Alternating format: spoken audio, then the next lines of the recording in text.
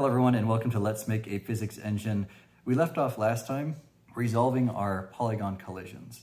So previously we had talked about resolving collision between circles, two circles, and then we talked about resolving collision between two polygons, and now I need to combine those and resolve a polygon and circle collision. And we're gonna use the separating axis theorem to do that. Um, and the trick to the separating axis theorem is really understanding which axes do we need to test in order to, to find out if there is separation and then resolve the collision. I'm thinking this will probably be the last time we need to talk about um, intersection or collision detection, and then hopefully move on to the more uh, physics part of a physics engine. So let's go ahead and get started with uh, polygon, circle, collision detection, and resolution. All right, so here we are back in our collisions class, and just like we have intersect polygons here, we're going to make another function for intersecting uh, polygons and circles. So a boolean return if they are intersecting. So I'm just to call this intersect circle polygon. And so let's pass in the circle information, and then we'll pass in the in the polygon information. So we'd need the circle center, the radius, and then all the vertices. Okay, and then finally the depth value there. All right, I'm going to move some of this information down to the next line just so it's easier to read. Okay, intersecting polygons and circles. Um, uh, let's just talk about all of the axis tests that we need to make. So back in our drawing program, here's what we are doing last time, intersecting and uh, resolving collision between two polygons. So here's the situation we have right now with a circle and a polygon. And let's talk about all the axis tests we need to do. For the polygon, the axis tests are pretty much the same. So we just find the normals, and then we use those for our axis uh, to find the intersection between the two objects, okay, or to find separation or intersection.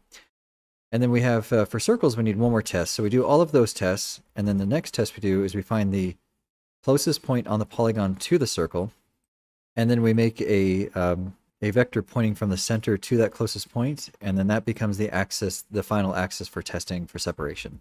Let's go back to our code and just see what that looks like. So the, initially, the the polygon code is going to be the same. So I'm going to go down to the intersect polygons method, and I'm going to copy all of that code for the first loop, and just paste it right in here.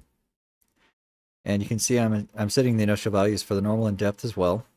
And since we don't have two vertices, um, two sets of vertices, we only have one. Let's just get rid of the vertices A and make that just vertices. This first project uh, method is going to be the same. So we're projecting the polygon onto the axis. The second one uh, we need to get rid of, and this is going to be um, this is going to become project circle onto the axis. So I'm going to call it. I'm going to make another function called project circle, and we'll just place that right here. Uh, void return, and let's project a circle let's pass it in the center and the radius. We also need to pass in the uh, axis we want to project onto, and then finally our minimum and maximum. Okay, so now to project the circle onto the axis, we need to find out the points on the circle that we actually need to project. And um, let's just say we have an axis that we're projecting on that looks something like this. So in order to find the, the points on the circle that we're going to project are going to look something like this. So we're looking to find points that are here and here. And the way we do that is we just take the axis that we're projecting on, we normalize it, and then we're going to take the direction of the axis from the center of the circle and then move out by the radius. And then we're going to get that point, and then we'll do the opposite direction, and then we'll get that point. Okay, so back in our code, we're going to take the axis and we're going to normalize it, and we're going to get a we're going to get a direction.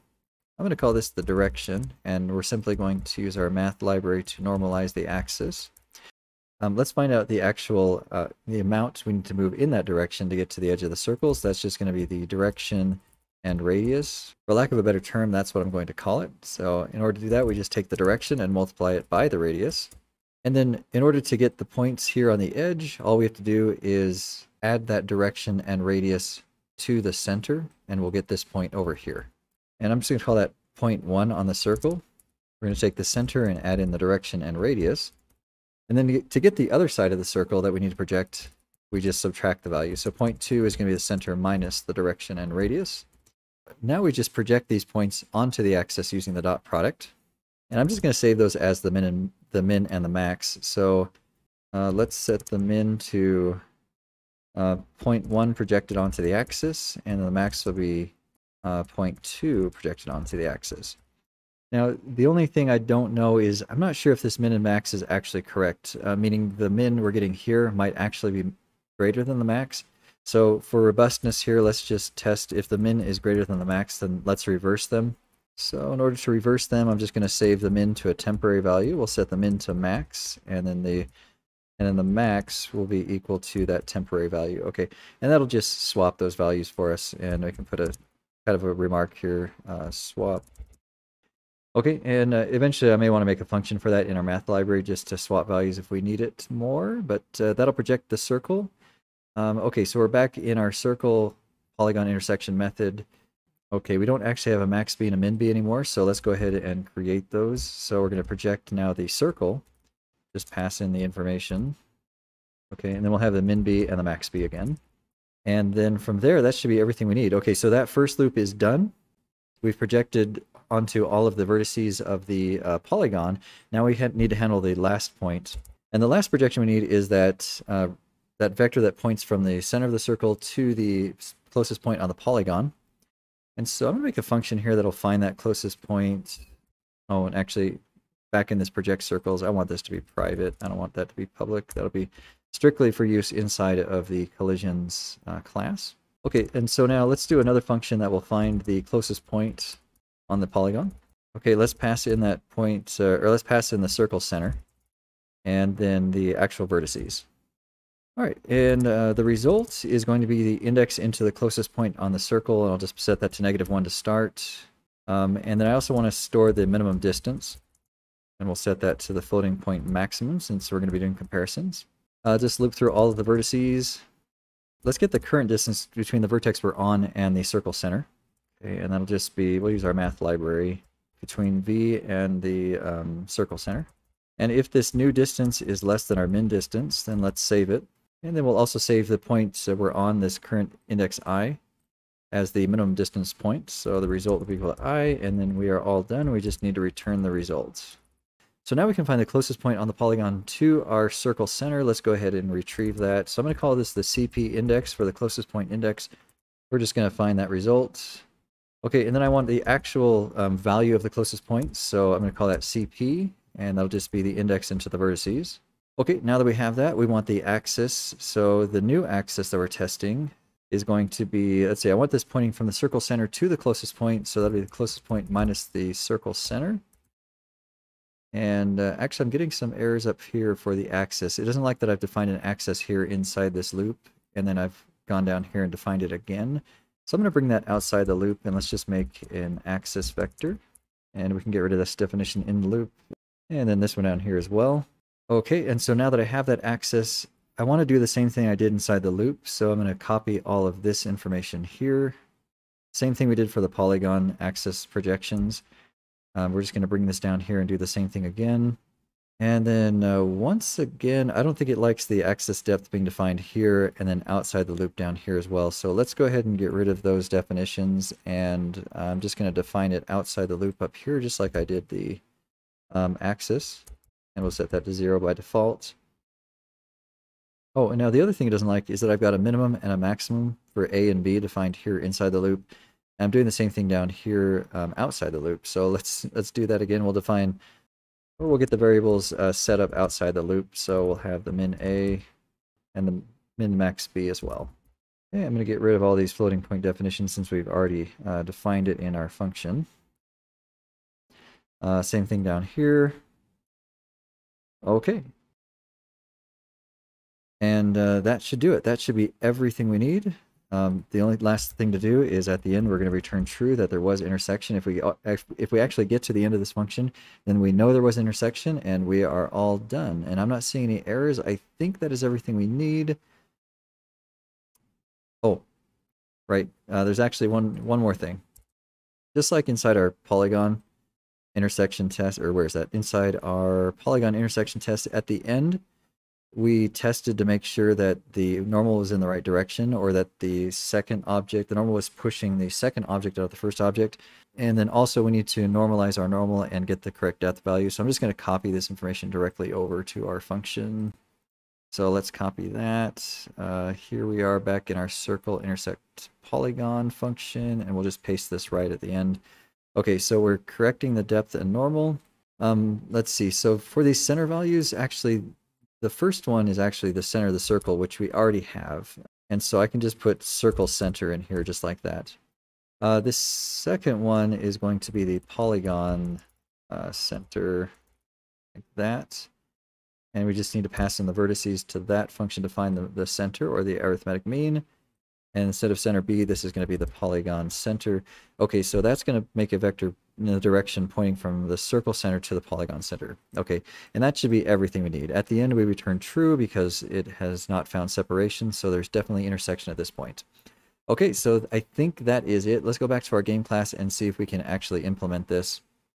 Uh, right now, in our game class, here's the initialization function, and we're creating all the kind of the random bodies right here. I'm going to get rid of this uh, code right here where I'm telling it which type of bodies to create, and it's just going to create random types at this point. Okay, so we're going to have random circles and boxes because now we're intersecting boxes and circles. Let's see if we can actually do that. Uh, we're going to scroll down to our update function, and we are now inside of our collision loop. Uh, let's go ahead and get rid of our intersect polygons function by bringing uh, this up here, and then that code will not compile. And instead of uh, intersect polygons, we're going to now Let's intersect circle polygon. And let's just determine if there is an intersection. Uh, then we'll run this code. I'm just going to copy this directly over from our last um, function. So if there is intersection, we're going to handle the code, or the we're going to handle the intersection by doing this stuff right here. Okay, so now part of the problem we have here is that body A and body B, they could be a polygon. They could both be boxes, or they could both be circles, or one could be a box and one could be a circle. And what we're looking for is we want one to be a box and one to be a circle, and then we're going to run this code right here. So um, let's just do a quick test here. So if body A is a box, uh, actually I want to take the test the shape type to see um, if it's a box, and then uh, actually, and then we'll test to see if uh, if body B, if the shape type of that one is a circle so we know they're opposites, then we want to run this code. Um, okay, so we have the first one's a box and the second one's a circle. Okay, so if that's the case, then um, let's see, it wants a circle first. So we're going to pass in body B, uh, body B's information from the circle. So body, uh, body B uh, position for the center, and then body B radius. And then body A, we're going to pass in the transform vertices. And then, okay, let's pass out the normal and the depth. So that'll take care of if A is a box and B is a circle, but if the opposite is true, I also want to do some testing. So if, uh, let's go ahead and reverse this. I'm going to copy this information. So now if body B is a box and body A is a circle, then let's do the same thing. Let's go ahead and uh, copy this think. Let's see if this works out like this. So I'm copying this over. Um, okay, so instead of, okay, here we go. So in the intersect polygon, um, A is a circle now, so I'm going to pass in A for the position and radius, and then from body B, we're going to get the transform vertices. And then everything else should be the same, I think, except, um, okay, except inter intersection code. Um, let's see. So for this one, body A is going to get pushed out of body B by the normal. So I might want to reverse the normal there. Yeah, so this one down here, the normal should be correct. Because it's going to push body A, or it's going to push body B out of body A, and that's what we have written here. But with this one, it's going to push body A out of body B, and so I need to change these normal values down here for our collision resolution. And I think that's it. Let's go ahead and test it and just see what happens. Okay, circle to circle collision is not working because we're not testing for that. Um, but there is our circle to box collision. Okay. Uh, actually, looks like it's working uh, working great. Let's go ahead and test this box over here. Uh, perfect. And then if I if I were to push this box over here, I don't think it should intersect uh, with the other box. No, but because we got rid of that code, but um, it should, this box should intersect with a circle. All right, there we go. Uh, that looks really good. And um, let's see. In fact, I should be able to push this one down here as well. All right, so that's it. That's polygon circle collision detection and resolution.